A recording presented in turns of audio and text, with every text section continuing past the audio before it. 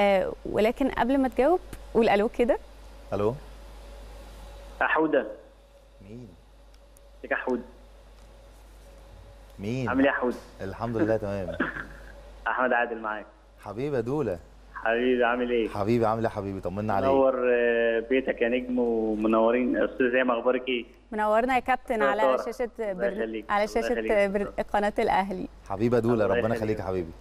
الله يخليك. آه، منور يا حوده و... آه، ودايما كده يعني منور شاشة النادي الأهلي بيتك والحمد لله يا أستاذة سارة يمكن مع محمود سمير والمجموعه اللي كانت موجودة الحمد لله حققنا إنجازات كتير وبطولات كتير للنادي الأهلي الحمد لله.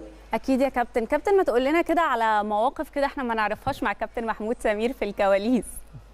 لا لا محمود ما ينفعش على الهوا. لا ينفع ينفع. في مواقف كده بينفع تتقال. لا هو إحنا يمكن كنا كنا أكتر ناس قريبة من بعض طبعا غير كان مجموعة كبيرة كان بركات وفتريكا ووائل جمعة وشريف محمد يمكن كان في المجموعة اللي إحنا كنت أنا ومحمود سمير ومحمد سمير وصديق وإين وجديد وعاشور وكنا مننو ومجموعة كبيرة جدا. كان معانا طارق السعيد برضه بس هو كان يعني معانا في نفس المجموعة. كان لينا مواقف كتير وخصوصا في السفريات. آه. في السفريات آه، يعني يعني موقف من ضمن المواقف آه، يعني مش عارف أقول لك إيه. هتقول لها على الأونو ولا هتقول لها على إيه؟ أيوه طلعوا كده. قولوا قول يا كابتن أحمد قول. لا أصل أحمد عادل يعني. طبعا عشت السنين ومن الناس اللي أنا بحبهم جدا وأخويا يعني لأن إحنا لعبنا في كذا مكان مع بعض اتحاد سكندري بعد الأهلي واتحاد شرطة. من الناس ال- المحترمين اللي أنا قابلتهم في مجال الكورة العزاز على قلبي يعني. أكيد طبعا. بس برضو لازم تقول لنا الموقف. كمل. لا ما فيش يمكن حتى إحنا في السفريات كنا بنبقى في اسك مثلا في ابيجان بنبقى في الترجي في تونس. آه، السفريات لازم يبقى فيها حاجات تفك ال- الدنيا شوية يعني آه فأنت عارفة يعني شخصية الكابتن حسام البدري مم. ويبقى يعني حازم. شادد علينا جدا مم. وخصوصاً جداً. إحنا كنا مجموعة صغيرة مم. ف... فكنا في الأتوبيس ورايحين المطار مم. وكان كنا عاملين زي دوشة ورا فرايحين المطار ومسافرين سفرية فالمفروض يعني الماتش بعد ثلاث أيام فما ما لهاش داعي الشدة يعني أنت تشد علينا. مم. فالأتوبيس يعني كان فيه زي هزار وبصوت عالي ف... فالكابتن حسام رجع لنا ورا. مم. فلقيناه بيقول لنا أقسم بالله لو ما بطلتوا هزار لنزلت لنزلكم هنا فاللي هو نزلنا هنا فين يا كابتن حسام إحنا على كوبري أكتوبر.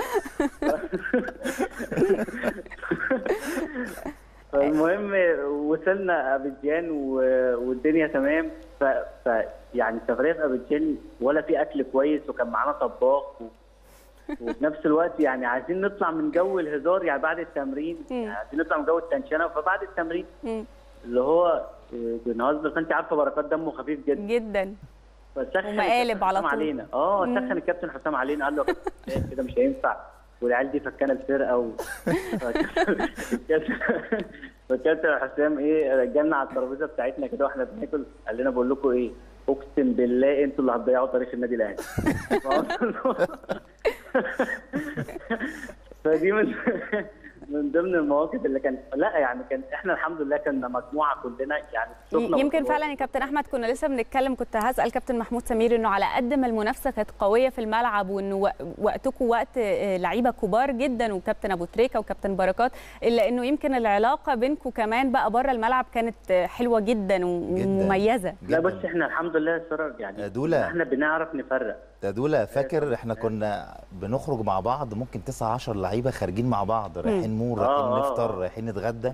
نادرا لما تلاقي دلوقتي مثلا. أربعة خمسة مع بعض. إحنا كنا بالتسعة وبالعشر لعيبة بنبقى خارجين مع بعض. وممكن نكون فعلا، فينا اللي. بيلعب وفينا اللي ما بيلعبش بس كنا بنحب بعض جدا. مم. ودي سمة من سمات يعني النادي بص- الأهلي يعني. يا سارة، يعني بص هتكون الإنجازات دي ما كانش من فراغ لأن إحنا كان عندنا حاجة في الكورة اسمها أوضة اللبس.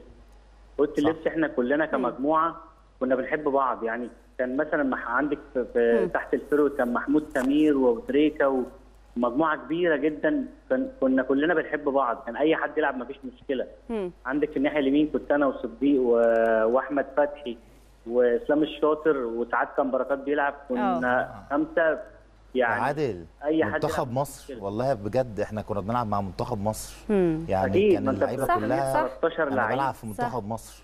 صح. 13 بس كمان عايزة أتكلم معاك يا كابتن أحمد ومع كابتن محمود في حاجة إنه آه، بس قبل ما نتكلم فيها برضو خليني أقول لكم انكم وشكم- حلو علينا الحقيقة لأنه آه، فريق الأهلي الطايرة قدر إن هو يكسب الزمالك 3-0 ويصعد. لنهائي. كأس مصر للكرة. الطايرة. وتتوالى الإنجازات الحقيقة. ألف مبروك الحقيقة. بنهنيهم بإذن الله تكون أنا نسيت طبعا أبارك للنادي الأهلي على بطولة الدوري. أكيد الله يبارك فيك وبطولة دوري مؤمن زكريا اللي بنتمنى له طبعا طبعاً. وكلنا بندعي له مصر كلها بتدعي له.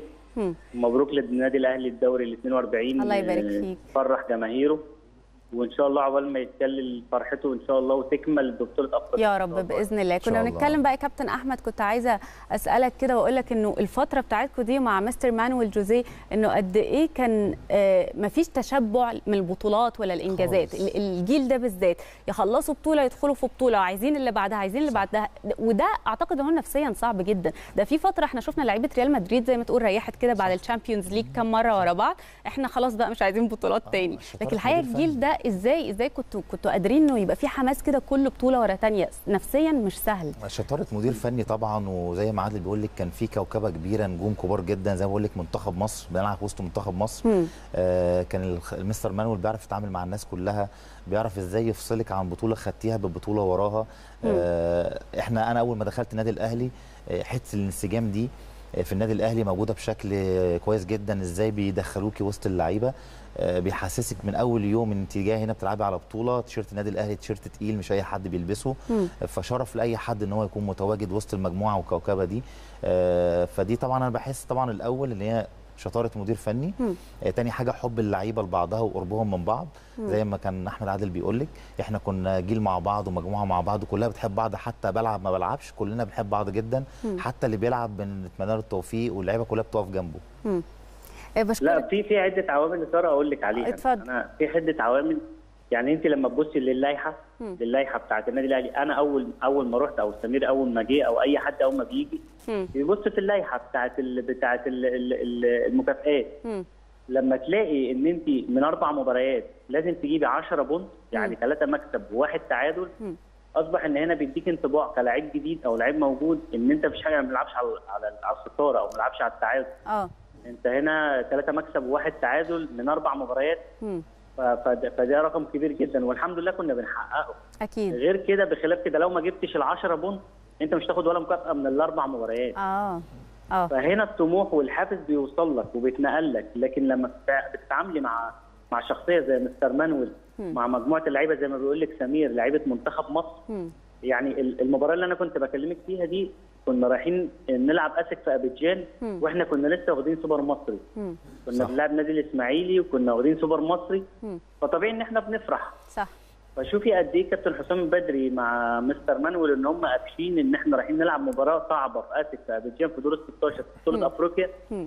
والحمد لله المباراة دي آه، كسبناها 1-0 على فريق أسك وهو أصلا بقاله 14 سنة ما بيخسرش في في ابيجان فدي انجازات ليها ليها عوامل وليها ضوابط وليها سياسة ومبادئ وتاريخ النادي الأهلي. أكيد. ال- اللي قدرنا الحمد لله بقدر كبير جدا إحنا نحافظ عليه. عشان كده شفتي بطولات وشفنا بطولات أنا وسمير وكل المجموعة. مم. عشان كده حققنا بطولات كتير مع النادي الأهلي وهو ده اللي كان معودنا عليه النادي الأهلي الفترة كلها. والحقيقة أنتوا جيل الجمهور مش بينساه ودايما بيتغنى بإنجازاته. بشكرك جدا يا كابتن أحمد عادل. آه، جيل كبير آه ومشرف طبعا يا كابتن محمود وأنا سعيد بمكالمة أحمد عادل اللي أنت دخلتي شفت حد مفاجأة؟ آه طبعا من أعز أصدقائي يعني ومن الناس اللي أنا لعبت معاهم في ثلاث أندية فلينا مواقف كتير مع بعض.